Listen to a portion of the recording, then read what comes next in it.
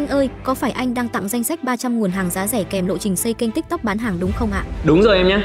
không chỉ là cái lộ trình để các bạn có thể xây dựng một kênh TikTok đâu mà ở trong chuỗi trình 4 ngày bí mật e-com này mình còn tặng các bạn danh sách hơn 300 nguồn hàng. Khi mà các bạn là những người mới các bạn đang tìm kiếm sản phẩm để các bạn kinh doanh online mình sẽ tặng luôn cho các bạn hơn 1.000 concept xây kênh hiệu quả sẵn ở trên nền tảng TikTok. Ngoài ra khi mà các bạn tham gia chuỗi trình này thì mình sẽ chia sẻ và định hướng cho các bạn 7 cái mô hình phổ biến ở trên TikTok. Từ việc các bạn làm review hay các bạn làm affiliate, các bạn trở thành KOC hay trở thành những cái chuyên gia để các bạn có thể xây dựng hình ảnh thương hiệu cá nhân của mình ở trên những cái nền tảng này. Và để tham gia chuỗi chương trình bí mật e-com này và nhận những cái tài liệu hữu ích ở phía trên, thì các bạn hãy bấm vào cái đường link bên dưới để chúng ta cùng nhau học tập nhé. Học viện thương mại điện tử tốt mắt dạy thực tâm, học